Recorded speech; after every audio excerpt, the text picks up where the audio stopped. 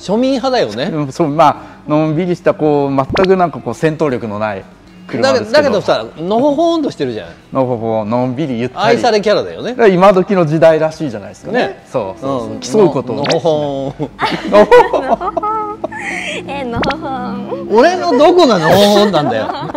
のほほんはアニメちゃんでしょ。さあ進みますよ進みますよ。どうぞどうぞ。はい。これ全体の話しましょう。デザインね。先代って割とスポーティーなスタイルボンネット高くなってる。そう新型はですねボンネット高くなったんですよ。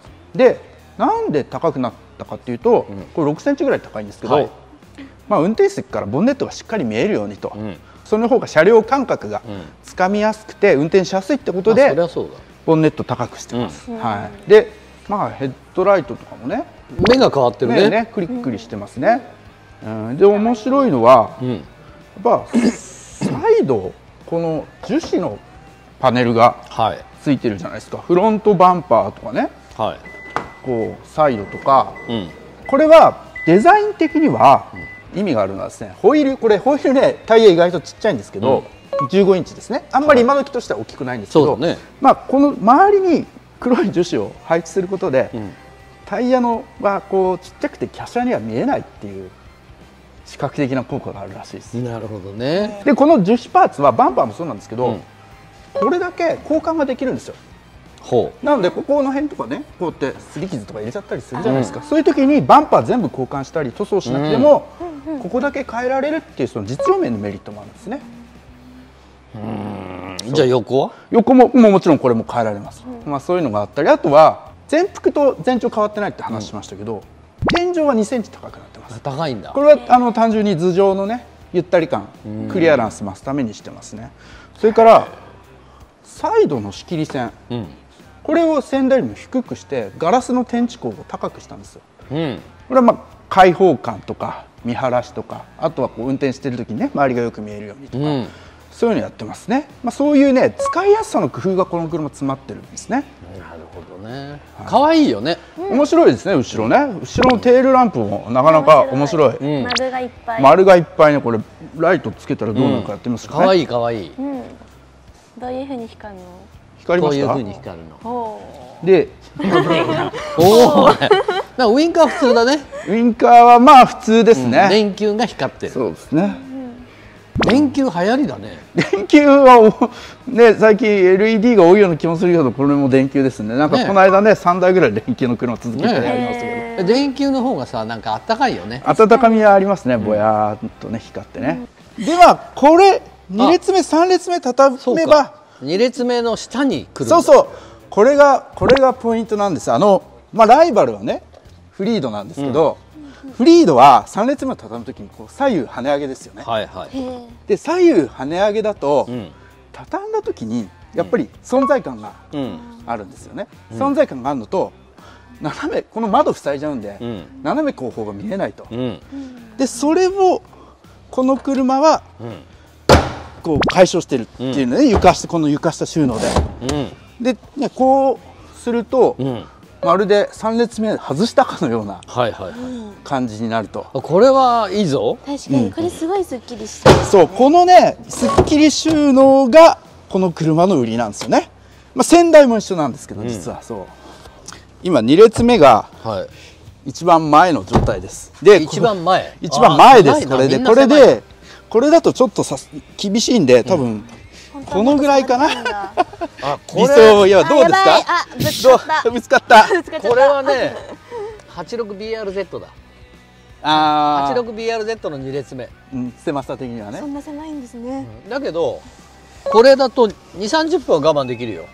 お全然駅まで送ってくれるっつうんだったらこの狭さで十分いいよ、そういうことなんですがただこれえっ、とね座った時の姿勢は結構いいんですよ実は。なんでかっていうと床に対して着座位置がそれなりに高さをちゃんとあるんで高低差があるんで、あの変な体育座りみたいな姿勢にならないんですよね。俺は OK よ。3列目っていうのはこういうもんでいいの。本当にこういうちっちゃい車はちっちゃい車に関して1列目2列目が重要だから3列目っていうのはおまけだからいいの、ありました。じゃあ USB あります、大切です、あこのポケットいいなこれ。そうそうこれポケットね。スマホを挟める。あとはここにサーキュレーターがつきました。これリアエアコンがないんで真夏とかちょっと後ろが暑かったんですけど、ね。こういう車。うん。なんですけどこれによってあのフロントエアコンの冷気を後ろに送る、送れるんですね。おいいじゃんこれで風の圧力を使って、ね、サーキュレーターね。サーキュレーターですね、はいはいはい。とあとちょっと土屋さんドア閉めていただいていいですかね。ちゃんとシェードも。あシェードもあります。いいねいいね。そうこれ2列目の快適性は相当こだわってますシートスポーティーだななかなか。あいい感じなんか。この沈み込みが。腰の沈み込みいいよこれ。